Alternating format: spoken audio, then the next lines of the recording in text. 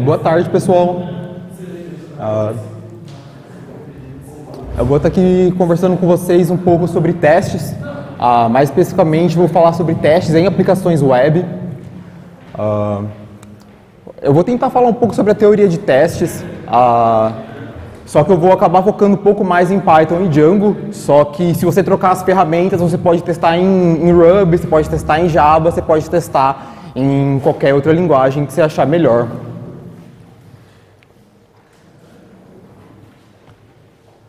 Então, falando um pouco sobre mim, meu nome é Luiz, eu trabalho com Python já faz uns 5 anos. Uh, atualmente eu sou desenvolvedor web na Olist, uma startup em Curitiba. Uh, eu também sou cofundador do Godzilla Hacker Club, que é um hackerspace lá de São Carlos. Nós ainda estamos em construção, mas qualquer apoio é bem-vindo. A nossa página é godzillahc.net.br. Uh, eu também sou co-organizador do OpenSanca, que é um grupo de tecnologia e software livre lá de São Carlos. A gente tem encontros semanais uh, sobre todo tipo de tecnologia. Então, esse, final, esse sábado agora está tá rolando um curso de Ionic. Uh, semana passada rolou um de, de JavaScript, algum framework JavaScript dos vários que existem por aí. Ah, então, todo, todo sábado acontece um treinamento, uma oficina, algum curso interessante. Ah, e também, eu, eu, também faço parte do PyLadies de São Carlos. Ah, é, e as meninas lá, elas têm atividades periódicas, elas fazem dojo de programação, elas falam sobre é, como é ser mulher em computação, só que, só que o grupo também aceita homens, lá a gente tá, tem cursos e atividades também. Então vamos primeiro falar sobre testes. O que são testes? O que fazem? O que eles comem? Uh, eu vou começar aqui lendo uma citação que é um dos livros clássicos de testes de software, uh, The Art of Software Testing, uh, que diz que teste de software é um grupo de processos definido para garantir que um código faz o que ele foi desenhado para fazer e não faz nada que não foi especificado para fazer. Então, o objetivo do teste é você garantir que a sua aplicação rode de acordo com a, de acordo com o que foi planejado, de acordo com a especificação do software. Ah, só falando um pouquinho mais sobre a teoria de, de testes em si. Ah, então, quando a gente fala sobre teste, não é simplesmente teste de software. Você tem os testes do tipo a caixa preta, que são testes que olham somente a especificação do programa e não olham ah, o código-fonte. Ah, você tem os testes caixa branca, que eles são baseados na implementação. Então, um, geralmente, desenvolvedores desenvolvem teste caixa branca, que eles sabem como o programa foi implementado e cria teste para verificar se a aplicação está funcionando. Uma outra, um outro tipo de teste que é menos utilizado uh, no mercado é o teste baseado em defeito que é utilizado, uh, é utilizado histórico de defeitos comuns em programas. Uh, com isso, é, são gerados é, defeitos no programa e a partir desses defeitos dá para saber se o programa está funcionando ou não. Uh, uma coisa que é interessante dizer sobre os tipos de testes é que os testes podem ser mais de um tipo. Então você pega, por exemplo, uh, teste de sistema automatizado, ele é tanto caixa preta quanto caixa branca. Uh, então, só para deixar aqui bem claro, quando a gente fala sobre testes no geral, a gente pode estar falando sobre um cara que não sabe nada de computação, que está usando o sistema e olhando somente os requisitos do sistema para saber se aquele, uh, se o software que foi desenvolvido, ele é apto para uso. No teste de caixa branca, então geralmente é feito pelos desenvolvedores que uh, analisam um código-fonte e com isso criam testes. Ah, então, alguns exemplos de testes. Você tem o, o, teste de análise de mutantes. Então, esse é um, um, um tipo de teste baseado em defeito. Então, existem alguns erros que são muito comuns na programação em si. Um deles, que é um, um exemplo besta só para ficar mais claro, é você trocar maior por maior igual. Tem alguma verificação que era para ser maior igual e você colocou maior. Então, uh, tem um software que ele roda em cima do seu, usa o código fonte do seu, uh, do seu programa, ele analisa todos os maiores, maiores que tem e ele gera, ele troca é, esses maiores por maior igual e com isso ele vai gerando uh, como se fosse filhos diferentes daquele software e, e ele vai fazendo uma comparação e no final ele consegue te dar um relatório para saber se o seu programa condiz ou não com a especificação. Ah, então você também tem teste de aceitação, que o teste de aceitação é o clássico uh, software alpha, software beta, que é quando você vai para o cliente e diz, olha, aqui está o software pronto, era para fazer isso. Aí você bota na mão de, de um peão, um cara que não sabe nada sobre o programa, não sabe nem programar, só para usar o sistema.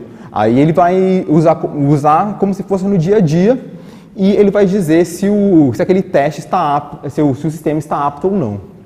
Uh, então, nesse caso, seria um teste é, totalmente caixa preta, porque os, as pessoas que estão testando uh, não têm conhecimento algum do sistema.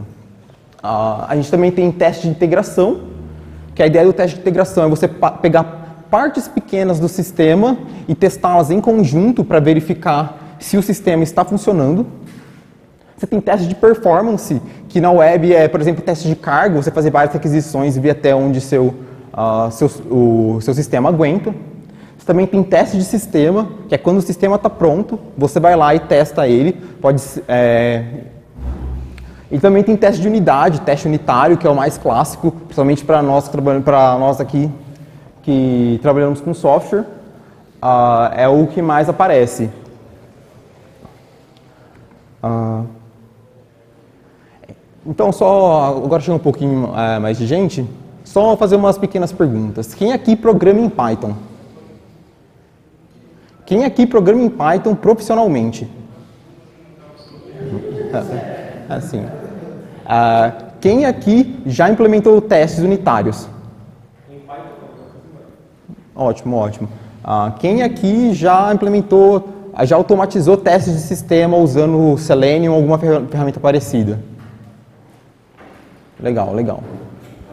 Ah, então, eu, é, a palestra eu preparei para ser, tentar ser simples para quem não conhece muito bem a linguagem, para quem não conhece muito bem testes, e também tentei deixar um pouco mais avançada para quem já conhece um pouco, não ficar totalmente entediado. Ah, então, mas por que eu vou gastar meu tempo é, implementando testes. Poxa, é só implementar lá o meu programa, funciona, de, depois, depois a gente vê o que faz. Uh, então, um dos maiores benefícios do, de você implementar testes o quanto antes é você encontrar erros nos níveis iniciais de desenvolvimento do software. Uh, já foi comprovado, existem várias pesquisas que corroboram isso, que quanto mais tarde um bug é encontrado, mais caro ele é. Então, se eu estou ali desenvolvendo, encontro um bug, uh, tem um custo, só que se eu encontrar esse bug só lá em produção, quando estiver rodando no cliente, ele vai ser muito mais caro. Então você, uh, você é, implementar testes de forma contínua vai fazer com que seu é, software tenha menos custo. E quando eu digo custo, não é só dinheiro do sistema estar tá lá em produção, por exemplo, um e-commerce está lá em produção, é, estoura um bug e você perde dinheiro porque você vende menos. Não é só isso, é também uh, o tempo do desenvolvedor nós, como desenvolvedores, quando um bug estoura, a gente perde tempo para analisar, para corrigir. Então, também tem isso.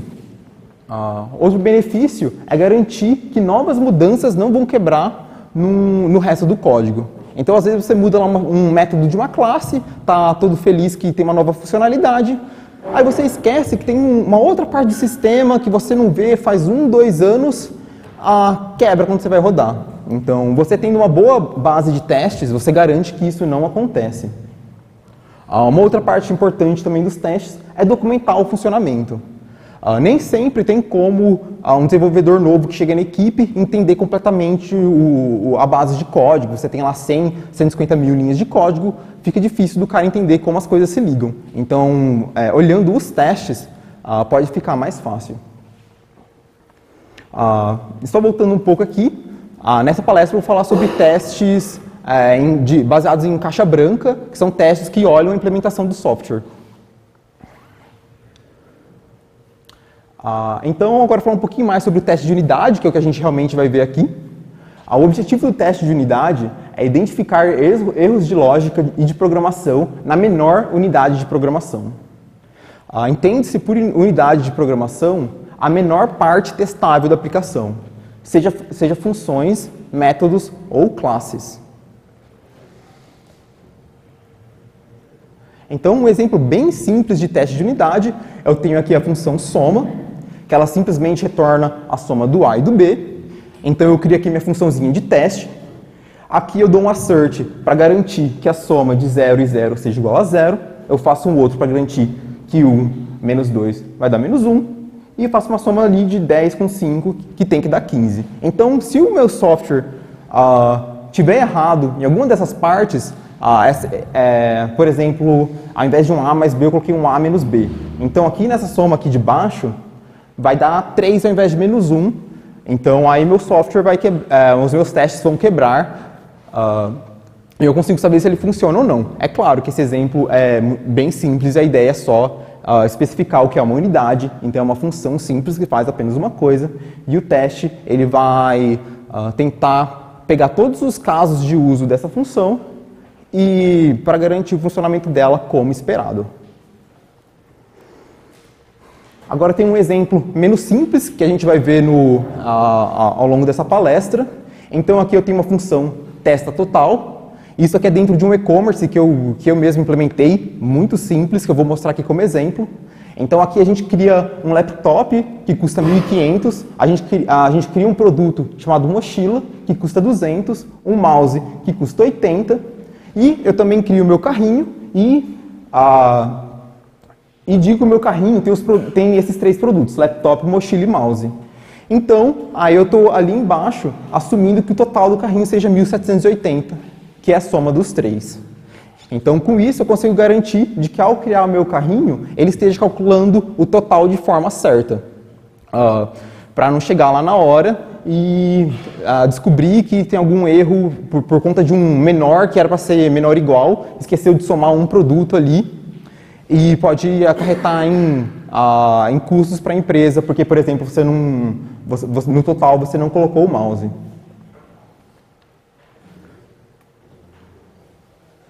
É.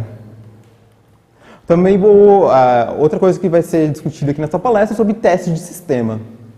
O objetivo do teste de sistema é verificar se o programa interage corretamente com o sistema para o qual foi projetado. Então, depois que o sistema estiver pronto, ou estiver minimamente pronto, uh, a ideia é você testar ele, seja uh, testar ele no ambiente de produção ou parecido, então, no caso de web, é importante você testar nos, nas versões de navegadores corretas, nos navegadores que serão utilizados, para verificar que o sistema funciona de fato. E esse teste também pode ser feito manualmente, que é quem geralmente não implementa testes unitários, testes de sistema, vai lá, implementa feature, é, abre, abre o seu sistema e vai lá, fica criando produto, cria outro produto, depois você é, abre o carrinho, cria um novo carrinho, adiciona os dois produtos e clica em finalizar. Então, a, a ideia de, da, dessa palestra aqui é mostrar como você pode automatizar esses testes de sistema. Ah, então, para implementar os testes unitários e testes de sistema, ah, eu, eu, utilizei a biblioteca PyTest, que é uma biblioteca pythônica. O que, é pythônico? Pythônico ah, é um termo utilizado por pythonistas, que são, programas que, é, são pessoas que programam em Python, e um código pythônico é aquele que utiliza corretamente a, as features da linguagem. Então é muito comum você ver o pessoal que vem do Java e programa em Python, é, você vê que eles, ah, por exemplo, vai criar classe, o cara já, já cria setter em getter. Porque ele sabe a sintaxe do Python, mas ele não, é, não sabe como funcionam alguns alguns conceitos de, é, do próprio Python. Então, como exemplo, está aqui uh, um exemplo de teste no PyTest, que foi o que a gente viu anteriormente. Uh, Para comparar, tem a Unit Test, que é a biblioteca mais utilizada para testes unitários, e vocês podem ver uns, uns requisitos de Java aqui. Você é obrigado a criar uma classe para criar um teste de caso. Uh, e também você não usa o, é, o assert da linguagem. Você é obrigado a chamar uma função assert equal para verificar os valores. Então aqui no caso esse assert equal vai, vai chamar a função soma, vai passar 0 e 0 e vai esperar que o valor seja 0. Caso, caso não seja, ele vai levantar uma exceção. Uma outra coisa que é legal de notar também é que a saída padrão do PyTest é bem mais verbosa, ele explicita direto os testes que, estão, que foram rodados, enquanto no Unitest, ali, na parte de, de baixo, gente, ele só diz que rodou um teste, não diz qual e nem mais nada. Ah, então, se a gente for comparar o código da PyTest com, contra o Unit Test, a gente vê que o teste usando o PyTest é muito mais simples. Não sou obrigado a criar classe, não sou obrigado a usar métodos da classe, eu não preciso ir lá na documentação descobrir que tem assert equal, assert... Uh, tem muita assert, assert false, assert true, assert... De tudo que você quiser tem lá. Uh, no caso do, do PyTest, você usa o próprio assert da linguagem e fica muito mais, o código fica muito mais enxuto e muito mais fácil de entender. Ah, então, só para falar, uh, falar um pouquinho mais das características pythônicas do PyTest, então, como eu já disse, você não é obrigado a criar subclasses para rodar um teste. Uh, os casos de teste são só funções. Então, você tem no Python que quando você tem uma classe com só uma função, você não precisa da classe. Você pode implementar com uma função em si. Uh, Outra coisa também é que você não precisa nem importar o módulo para rodar testes simples. Uh, e você usa o assert e não uma função assert equal, assert true, assert false. Uh, então, além disso, o PyTest ele dá algumas features bem interessantes. Uma que eu gosto bastante são os markers, que permite marcar os testes. É, e você marcando os testes, eles também permitem que você rode conjuntos de testes específicos. Por exemplo, uh, no exemplo que a gente vai ver no, no e-commerce uh, é, daqui da, da palestra, uh, a gente vai ver que eu criei um marcador para testes funcionais, que são testes de sistema. Então, eu posso, então eu marco a minha, o meu teste ali, eu uso o decorador, o decorador pytest.mark e esse último nome você pode dar o que você quiser. Uh, então, com isso, eu, cons eu, consigo rodar apenas testes funcionais, por exemplo, pytest-m functional, que é o nome ali do meu marcador, está aqui em cima. Uh, e também consigo rodar todos os testes menos os funcionais, com pytest.m-not functional. Mas vocês podem me perguntar por que eu fiz isso? Por que está rodando teste, os testes funcionais separados? Porque o teste funcional ele é muito lento. Porque, no caso, o teste funcional seria testar o sistema em si. Então, o sistema é web, então eu tenho que abrir o um navegador, que demora cerca de 5 segundos. Então, ele vai utilizar um, um, um driver do próprio navegador para navegar pela página. Enquanto meus testes de unidade são puro código Python rodam muito mais rápido. Ah, só para ficar bem claro, eu vou, ah, para mostrar que eu não estou enganando vocês, eu vou rodar esses códigos e eu espero que funcione. Então eu tenho aqui o PyTest. Aqui eu estou no repositório do meu e-commerce que ele chama Django Tracecom. Teset, né? PyTest. Pronto. Aí eu faço um traço M. Uh, vamos rodar primeiro os não funcionais, not, fun, not functional.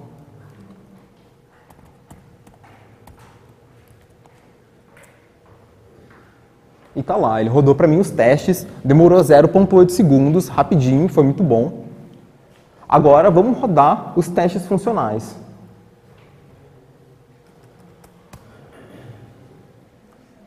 Então tá lá, esperando o navegador abrir. O navegador abriu, ele instancia um servidor da aplicação, acessa ele e faz as verificações. Como vocês podem ver aqui, esse teste demorou 9,58 segundos. Isso porque o, o meu sistema, tá, eu implementei o e-commerce de uma forma relativamente porca, muito simples. Ele tem só, somente três tabelas no banco. Na verdade, é, são três modelos do Django e quatro tabelas. Ah, e eu tenho cerca, só cerca de 20 testes. E já está demorando 10 segundos. Imagina se tem uma aplicação grande com as suas milhares de linhas de código, isso ia demorar muito mais. E você, como programador, não pode ficar perdendo ali, vamos dizer, tipo um minuto, um minuto e meio para cada teste que você roda. É tempo que você podia estar tá programando, que você podia ter o feedback e está perdendo esperando rodar os testes. Então, ah, com os marcadores, você pode, de uma maneira fácil, rodar só os testes não funcionais, você roda os testes de unidade e testes de integração, para garantir que seu sistema funciona, e depois você pode rodar, depois, antes do deploy, por exemplo, você roda apenas uma vez para garantir que seu sistema, quando for para produção, ele não, não esteja com problema. Então é isso. É, é, você também pode usar para muitas outras coisas, você, é, basta usar a imaginação. Uma outra coisa interessante do, do PyTest são as fixtures, ah, que elas permitem a criação de recursos para serem utilizados nos testes. E, e esses recursos, você obtém eles a partir de, de injeção de dependência. Então, para quem já conhece Unity Test, a biblioteca XUnit, que é a mais clássica de todas, ah, então você cria uma, um, um, caso de teste, você cria os métodos setup e teardown para instanciar o que seu teste vai usar. Só que no caso do PyTest você não tem isso. No lugar, você tem as fixtures. Então, ah, só um exemplo aqui. Então, ao invés de eu criar uma classe setup no meu teste para instanciar o Selenium, para rodar os testes de sistema, a gente cria uma fixture. Então, aqui a gente uh, tem uma função chamada Selenium. Uh, a gente marca ela como sendo fixture. A gente instancia um driver. Aqui faltou um from Selenium import WebDriver, que é de onde vem esse WebDriver. A gente é, inicia um, um, navegador do Firefox. Uh, com isso a gente tem uma instância, com isso o navegador já é aberto e em driver a gente tem acesso à, à, página, ao título e tudo mais. E aqui no caso, a gente, o meu request que, que vai lidar, que é que vai lidar com o com o, o recurso da minha fixture, a gente pode adicionar uma função para o Edge Finalizer, que é no caso seria que executaria o meu teardown, que aqui no caso e, e, o teardown somente dessa fixture, e não de, de todo o, o caso de teste. Que aqui no caso, a gente pede para fechar o driver. Uma coisa que é bastante interessante é que a gente pode, na fixture, dizer o escopo. Aqui no caso, eu especifiquei o escopo para ser a sessão. A sessão são todos os casos de teste. Então isso vai me garantir que eu só vou abrir uma instância do Selenium para todos os meus testes. No caso, se eu, se eu tivesse um que dá um, um, ter, é, um, setup em cada teste de caso e abrir um novo Selenium, ia ser muito mais lerdo do que eu ter um aberto para todas as sessões. Então tá aí uma vantagem de você usar Fixture. Uma outra coisa que é interessante é que você não precisa uh, instanciar, basta você chamar ela no seu argumento da função, que o PyTest vai identificar isso e injetar o argumento ali dentro. Então, se eu tirar esse Selenium daqui, o meu teste não usa Selenium. Vai continuar funcionando o meu código, mas se eu precisar de usar Selenium, eu só adiciono o, o argumento. Então, aqui no caso, uh, eu tenho um exemplo bem simples aqui, da, que é para testar a página inicial sem produto algum cadastrado. Então, na página inicial, você exibe uma listagem de todos os produtos. Então, aqui a gente está pegando a, a home, e a gente está procurando os elementos da classe produto. Que lá no, lá no, meu, CS, é, lá no meu HTML eu coloquei um class igual produto em cada um desses. E aqui eu, tô, é, eu estou dando a search para que ele não encontre nenhum elemento.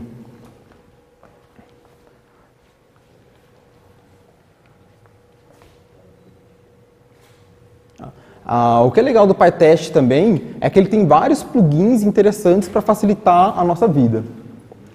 Ah, um plugin que eu usei foi do PyTest Django, que ele facilita você rodar os testes no Django. E ah, ele também traz algumas fixtures é, padrões.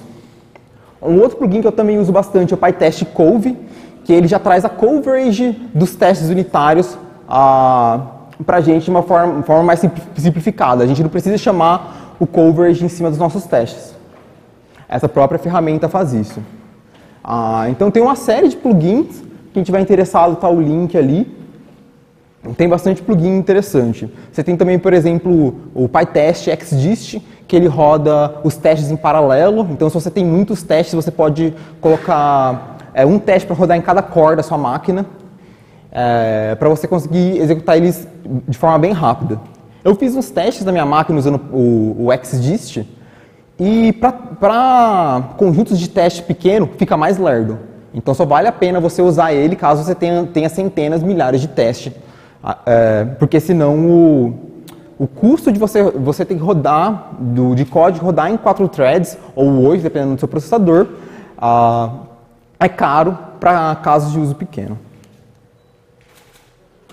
Ah, então, só para falar um pouquinho mais do PyTest Django, desse plugin, então ele já traz alguns markers interessantes, como esse DjangoDB. O que, que esse, esse DjangoDB faz? Ele, ele quando, esse, quando esse marcador está lá, o, o PyTest Django ele permite que ele teste use, use banco. Mas por quê? Mas beleza, tem uma aplicação Django, uma aplicação web, por que eu não vou dar acesso ao banco para algum teste? Ah, isso é uma coisa bastante comum, porque como eu disse para vocês, ah, testes demorados consomem tempo do programador. Então o ideal é você, ah, é você escrever testes o mais rápido possível. E quando você usa banco, acontece uma escrita em disco. Então mesmo você tendo SSD, que, é, que a sua escrita em disco é mais rápida, você ainda vai acabar perdendo um pouco de tempo. Então, com, com esse marker, a gente consegue uh, isolar os testes que usam banco e os que não usam, e assim nossos testes ficam mais rápidos. Uh, umas fixtures interessantes que o PyTest Django tem é o ele já vem com o Django Test Client, então eu não preciso criar a minha, a minha fixture do, do, do cliente de teste, que é o cliente de teste que retorna as, as minhas páginas, que eu passo uma request, aliás, ele cria request para mim. Uh, ele também tem uma fixture de, de usuário admin, então você não precisa criar um usuário, ele, então você quer fazer um teste no admin do Django, você não precisa ficar criando admin novo a cada hora, você pode usar um que já vem ali pronto. E também tem uma outra feature, é, uma outra fixture interessante que a gente vai ver aqui, é o Live Server. Uh, então, quando o Django roda os testes, ele, ele pega um servidor falso, que gera uh, requisições. Você não tem uma aplicação rodando de verdade. Ele só pega aquelas suas requisições e gera uma resposta em cima do resultado esperado. Só que isso não funciona para testes de sistema. O teste de sistema, a gente precisa do servidor rodando. E é para isso que serve o Live Server.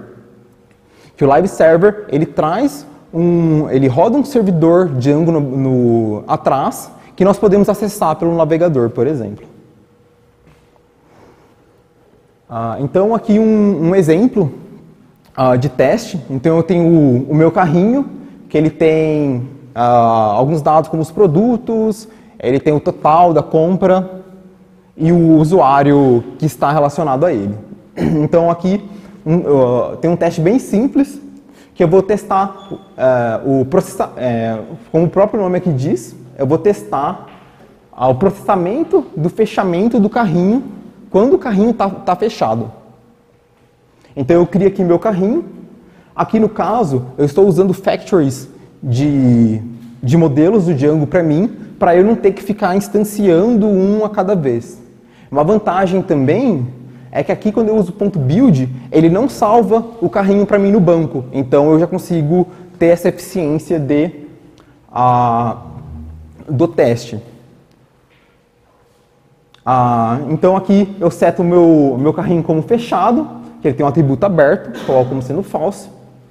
E eu uso um gerenciador de contexto aqui, um with, uh, que espera que essa, o processo de fechamento levante um value error, porque, eu porque meu carrinho está fechado e eu estou tentando fechar ele de novo.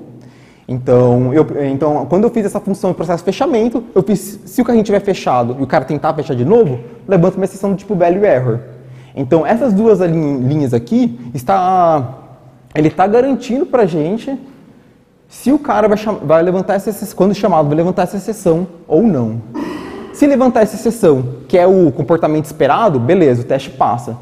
Se não, a, o teste falha. E aqui só para aqui no final eu dou um assert, o carrinho já está fechado, só para verificar que a minha mensagem de erro é, bate com o, a mensagem de erro levantada na minha função.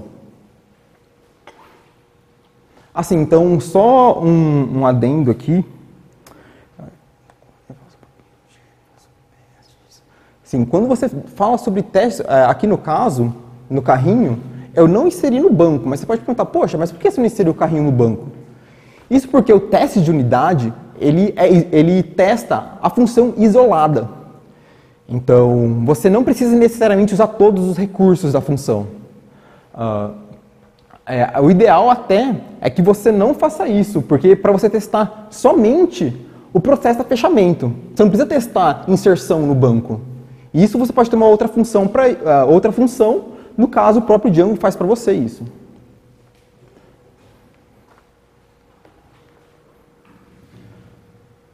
Uh, um outro teste aqui, no caso este exemplo sim usa banco de dados, que a gente vê aqui com o nosso marcador DjangoDB, e é a função que testa o processamento em si. Então eu crio aqui o meu produto rádio com preço 120, eu crio meu abajur ali de preço 30, crio meu carrinho e atrelo esses dois produtos a ele. Então, quando eu crio o carrinho, eu verifico se ele está de fato aberto. Pra... E depois eu rodo a função processo fechamento, que ele vai calcular o total e fechar o carrinho. Então aqui no caso, eu dou um assert not carrinho ponto aberto para garantir que ele esteja fechado. E aqui embaixo eu, eu verifico se o total da minha compra ah, deu 150, que é a soma aqui do 120 e do 30. Ah, no caso aqui, ah, esses, três, esses, três modelos, opa, esses três modelos aqui, eles estão sendo inseridos no banco. Por isso eu preciso do, do marcador do Django DB ali. Ah, então, mais um exemplinho aí. Ah, nesse caso, então, anteriormente a gente testou o um modelo.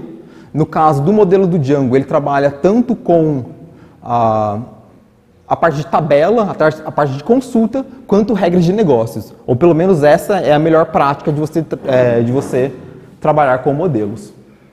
Ah, então aqui no caso a gente vai fazer um teste da view em si. A view é, no Django ela é diferente de, de outros frameworks MVC, porque o, o Django é um framework MVT, é Model View Template, e não Model View Controller. Então, no caso do Django, a view é responsável por processar os requests e gerar as respostas HTTP.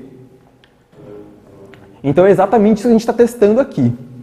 A, a gente cria uma requisição aqui, então a gente usa o nosso te teste client para fazer uma requisição GET uh, na minha página comprar. Uh, eu atrelo essa requisição um usuário anônimo, porque meu teste é para testar uma compra sem autenticação.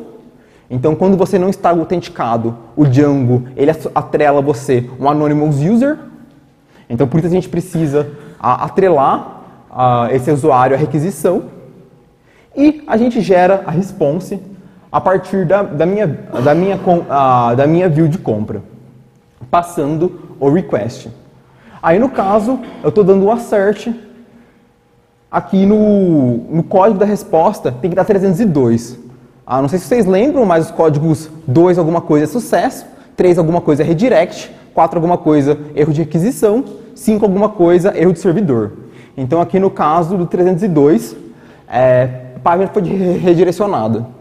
O que acontece no sistema, se você tenta fazer uma compra sem estar logado, ah, você é redirecionado para a tela de login. Por isso a gente implementa esse teste aqui para verificar se a, o, a resposta do código é 302 e para isso basta.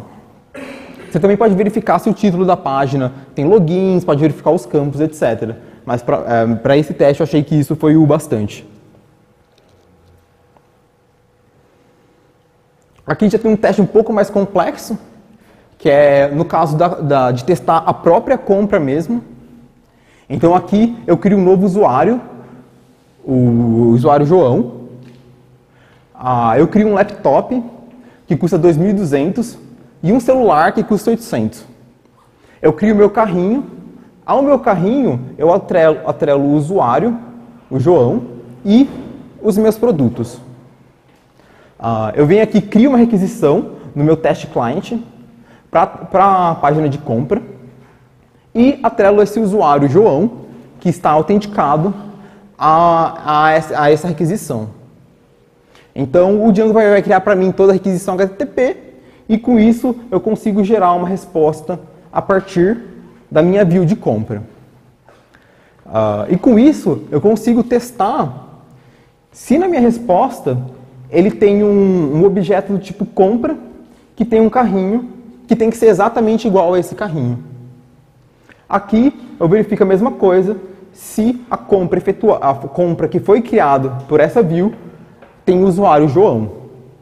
É, outra coisa também que eu verifiquei foi direto no banco. Uh, no caso, cada teste ele roda com banco vazio, então eu testo se a minha se a minha tabela de compra só tem apenas uma compra, que foi essa que eu criei no teste.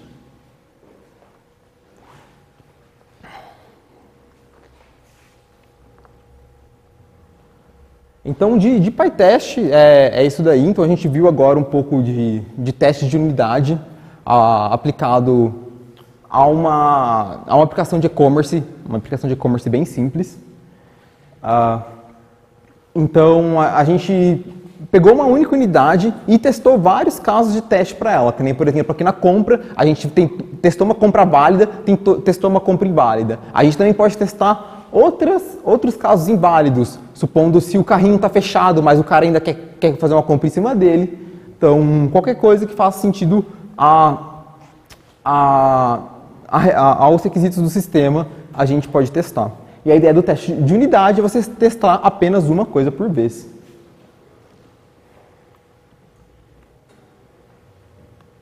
Então, agora a gente vai falar é, sobre o Selenium, que é a, o, o objetivo, a função do Selenium é a automatização de tarefas do navegador. Então, você pode fazer isso para acessar um site automaticamente, que você queira, só que o maior uso dele mesmo é teste de aplicação web. Ele foi criado com esse intuito. Mas você vê pessoas usando para web crawling. Porque tem algumas páginas que elas, elas têm meio que uma proteção, que eles colocam um código JavaScript totalmente maluco e você não consegue fazer crawling da página. Uh, tem outras páginas que os conteúdos são gerados dinamicamente a partir de interação, que um crawler como o ScrapEye não consegue fazer. Então, nesse caso, o Selenium pode servir como web crawling, apesar de não ser tão rápido com, como uma ferramenta, quanto uma ferramenta como o ScrapEye. É uma coisa que é, que é, é importante para a gente testar uh, para a gente automatizar o nosso teste do sistema. Então a gente precisa do navegador instalado. Em alguns casos, você vai precisar de instalar ou WebDriver do navegador ou um WebDriver terceiro. O que, que o WebDriver faz? É o WebDriver que vai interagir com a página. Então, normalmente, como a gente interage? A gente clica no campo, digita o texto, aperta Enter. No caso do WebDriver, ele permite que a gente uh, automatize isso. Isso é do próprio navegador. Cada navegador tem seu próprio WebDriver que você pode programar essas ações. Uh, e outra coisa também que a gente precisa para rodar nosso teste de sistema é a aplicação minimamente pronta. E como a gente está falando em aplicações web, a gente precisa de um servidor rodando essa aplicação.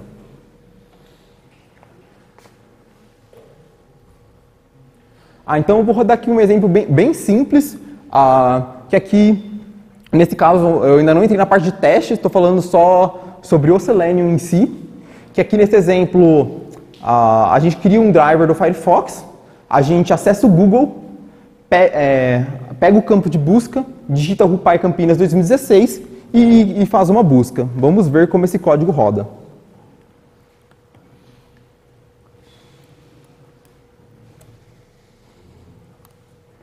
Então, meu código está aqui.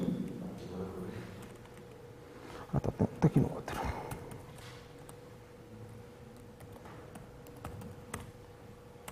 Então, tá, tá, tá o meu código aqui, só para você ver que não, não faz outras coisas. Vamos executá-lo. É...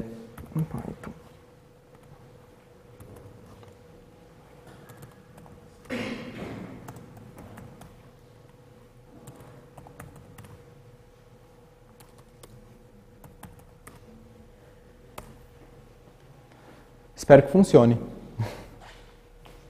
Então aí no caso o próprio Selenium abriu o navegador, submeteu lá, o, escreveu no meu campo Rupai Campinas 2016, deu um submit e a busca foi feita. Então, uh, esse aqui é um teste bem simples, mas uh, o Selenium permite você automatizar bastante coisa. Uh, um exemplo um pouco menos simples Aqui a gente vai acessar um, um, um site, aí a gente vai, nesse site tem um formulário de contato, e a gente vai passar uns dados para ele e depois submeter.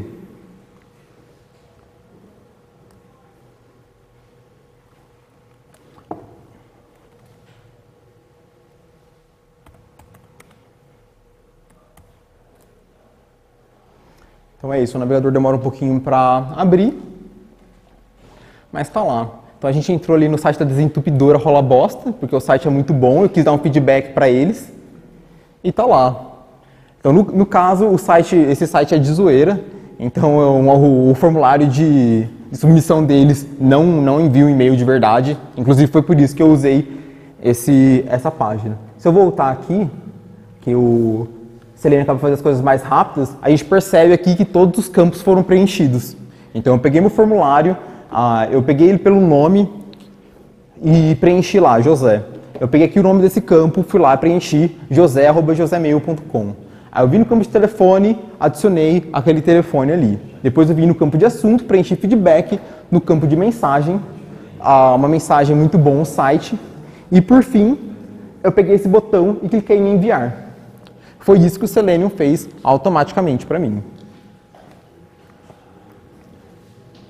Ah, então, quando a gente tem a nossa aplicação web, a, é, ao invés de a gente abrir o sistema, ficar testando coisinha por coisa, a, a, a, gente pode deixar o Selenium fazer isso para a gente. Afinal, nós somos programadores, é isso que nós fazemos, automatizamos coisas para que elas funcionem para a gente, para que nós não tenhamos tanto trabalho. Ah, então, só um exemplo aqui de teste usando o Selenium. Ah, eu tenho aqui um teste bem simples que, que testa a minha homepage. No caso, a minha homepage do meu e-commerce exibe todos os produtos. Então, eu criei um celular, criei um laptop, criei uma TV. Ah, então, aqui eu recebi o meu Selenium, recebi o meu live server, que roda a aplicação do Django ali atrás para mim. Então, eu, eu abri o Selenium, pedi para ele me pegar a, a, a, página do meu live server. Então, aqui, esse liveserver.url me dá o URL do servidor, alguma coisa tipo localhost 2.8875. Uh, e passei para ele uh, o caminho da, da home. Nisso, o, o Selenium ele vai abrir para mim essa página uh, e ele vai caçar todos os elementos com classe produto. Aí com isso eu verifico se os produtos retornados são três e eu verifico se o, se o primeiro é o celular, o segundo o laptop e o terceiro o nome.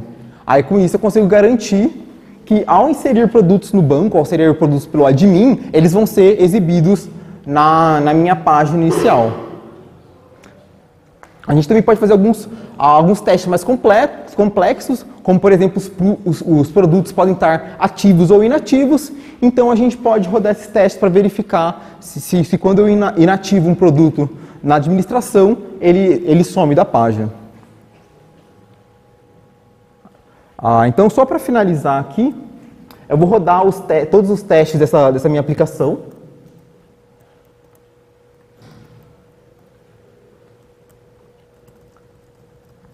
Então tá lá. Então ele começa primeiro pelos testes funcionais, que demoram um pouco. Ele abre o navegador ele, ele testa o ele testa a página inicial, ele testa o login e depois disso ele vai fazer o, teste dos modelos e teste das views. E aqui no final tem um, relatório, um relatóriozinho do que aconteceu. É, são 20 testes que demoraram 7,63 segundos. Como a gente viu anteriormente, tá, demora todo esse tempo por causa do teste funcional do meu tempo de abrir o navegador. Ah, então, ah, o conteúdo da palestra era esse, só que como um plus, ah, eu trouxe uns materiais aqui para quem quiser saber aprender mais. Então, no caso, tem esse curso online aqui de automa automatização de testes de software, que ele foi criado pela, pela Universidade de São Paulo, pela Universidade Federal de Goiás e pela Universidade Federal do Amazonas. Então, você tem a é um, é um curso bem teórico da parte de teoria de testes, só que ele revela o estado da arte do teste na pesquisa científica. Então, para quem tem interesse de aprender teoria sobre teste, eu recomendo bastante esse curso. Inclusive, é, para pegar a base teórica dessa minha palestra, eu usei bastante ele. A desvantagem desse curso é que ele usa Java, mas, é, mas a teoria ela não é de Java. Tem algumas coisas que são específicas de C++, mas a teoria ela não é de Java. Então, você pode a, aprender aquela teoria, aplicar para o Python, ou até pegar os exemplos que ele tem lá e implementar em Python, usando PyTest, usando PyTest Coverage, usando Selenium. Ah, o, os testes que eu usei, ah, eles estão aqui nesse repositório do GitHub chamado Django Econ. Então vocês podem dar uma fuçada lá, ver os modelos, ver as views, como os testes são implementados. Só para dizer mais uma vez, o e-commerce, esse e-commerce que eu criei é didático, que eu uso nas minhas oficinas, nos meus cursos de Django. Então, é, ele, foi feito, ele foi criado para ser simples e não para ser certo. E para finalizar, pra, eu estou dando um, um, curso de Python em São Carlos. Uh, lá eu estou ensinando desde Python básico uh, até algumas coisas mais avançadas, orientação a objetos, e vou falar sobre Django também.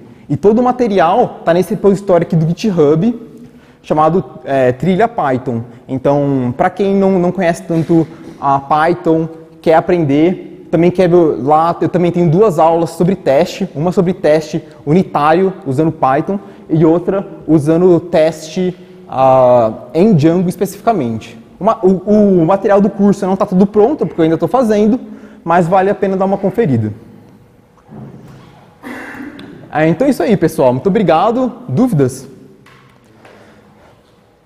É,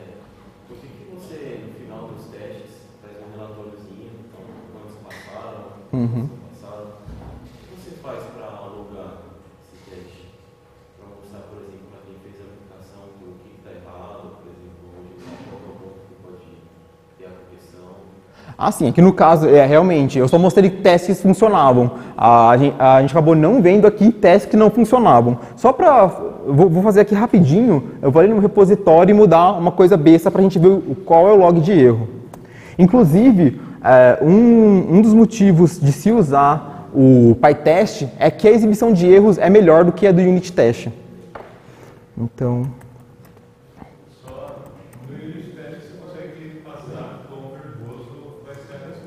Sim, sim, no PyTest também.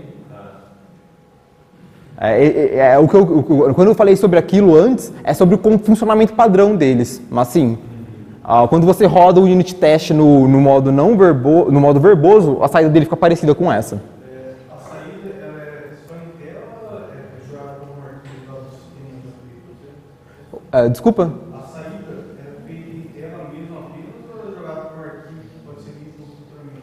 ela é feito na, na saída padrão, mas você pode usar TI para redirecionar, usar redirecionamento do próprio Bash, aí você, você que vê o que você faz com os testes.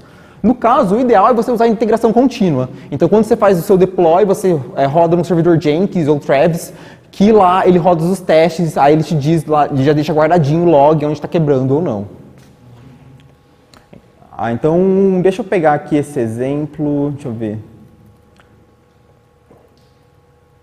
Então, esse exemplo aqui do testa processamento do carrinho fechado, eu vou tirar a parte que eu fechei o meu carrinho, vamos ver o que acontece.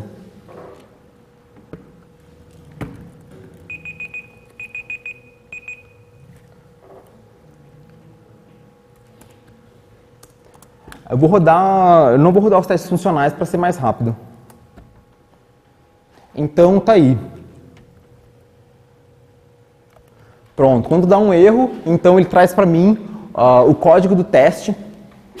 Então ali o, o, o erro está na função testa, processa, fechamento, carrinho fechado.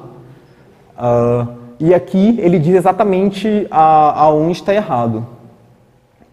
Então, aqui nessa mensagem de erro, ele acabou, então ele mostra aqui. Está tá muito grande, fica difícil de entender. Deixa eu diminuir um pouquinho.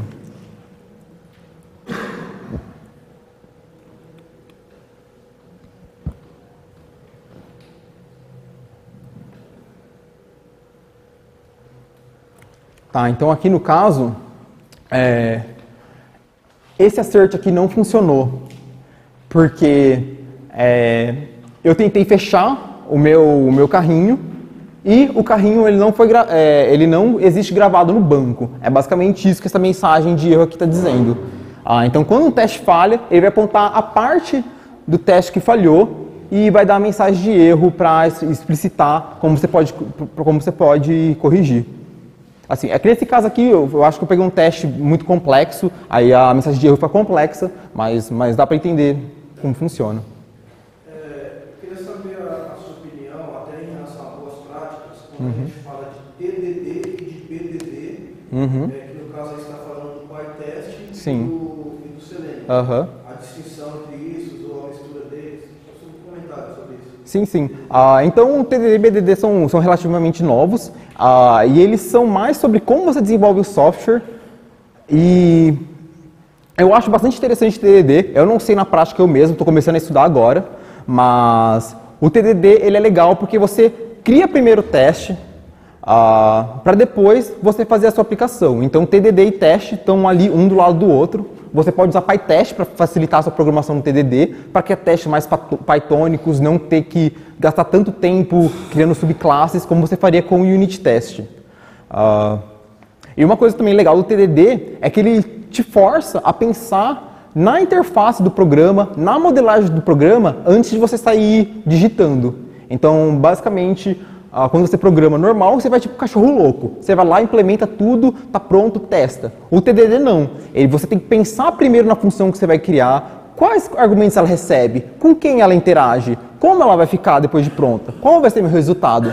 Depois que você tem todas essas respostas, que você, é, é, aliás, você vai fazendo essas perguntas e essas respostas enquanto você vai criando testes e implementando o seu código. E o, B, e o BDD, que é o Behavior? É, ele é é, então, no caso de teste, você cria um teste para implementar o seu sistema. E o Behavior Driven Development, ele já está num nível mais alto.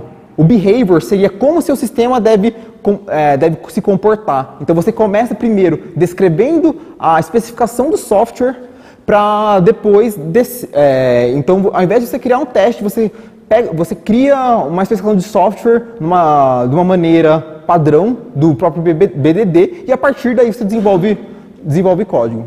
Eu acho que, eu acho que aí, na verdade, uhum. o Selenium se aplica mais, então, nessa segunda parte, né? Então, a questão do Selenium, que o Selenium é teste de sistema. Então, aí você precisa ter o sistema pronto.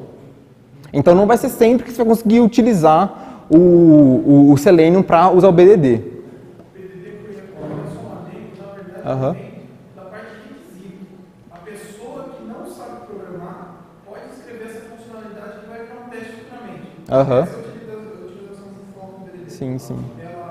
Ela, você tem uma, uma pessoa que não programa lá de Aham. tem toda a visão do projeto que vai ser desenvolvido, ela escreve todas as funcionalidades do projeto e essas funcionalidades viram pontos e esses pontos viram testes depois de desenvolvido. Legal, então você adiciona, você adiciona um nível. Exatamente, é um nível Aham.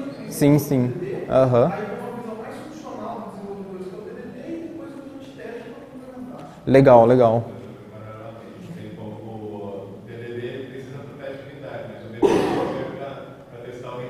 Entendi, legal. Que é, elas interagem.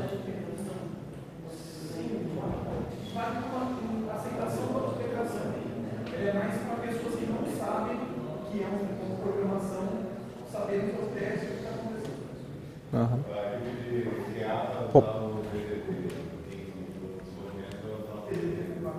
Opa, eu tinha visto antes. Você já usou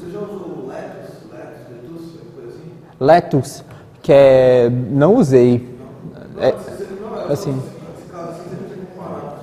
Aham. Mas o que eu conheço é o Splinter.